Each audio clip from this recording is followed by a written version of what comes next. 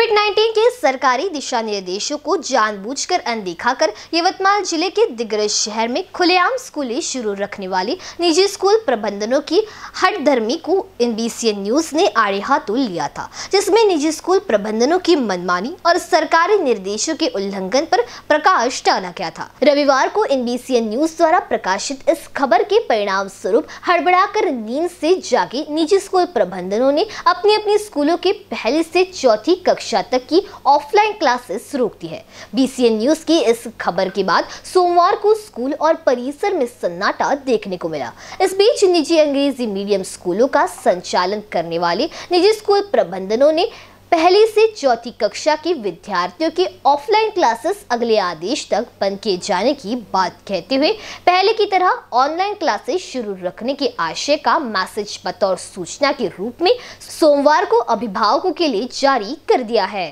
BCN news के लिए दिग्र से जुबेर खान की रिपोर्ट।